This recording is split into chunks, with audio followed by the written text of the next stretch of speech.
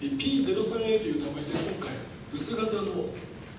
ダブルオープンのビエラ形態を出させていただきます。こちらが一番下になりますが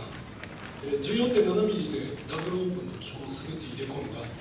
オープンスタイルでございます。今回スヌーピーのキャラクターと連携した内容を盛り込んでおります。え待ち受けフラッシュは右左上の通りでございますが、メールを受けたり電話かかった時に世界ツールの画面が横で出てきたりですねまた今回はえー、ユーザーの要望が非常に強いと聞いておりますので、デコメ絵文字、これが動く絵文字ということで、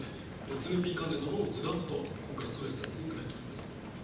右側の画面お気づきでしょうか、サブ LCD のところですが、えー、実はあの先日から私、時々試してるんですが、なかなか出てこなくて困ってるんですが、このサブ LCD はですね、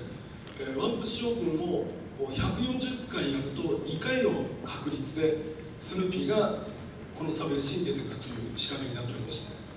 えー、自分の部下が作ったんですが私がやるとなかなか出てこないんですけど出てくる人は出てくるらしいので